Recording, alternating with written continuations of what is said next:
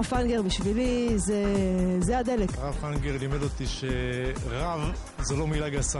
הוא בן אדם שמטעין אותך באנרגיות חיוביות. קפה מדרש, חוויה רוחנית. קפה מדרש זה הבית שלו, זה הבית שלנו. צריך לבוא לראות פעם אחת בשביל להבין. מדהים, מדהים, מדהים. יום חמישי בערב, הרב פיינגר. מוזמנים. שווה לבוא. אווירה משתגעת, לא יודע מה.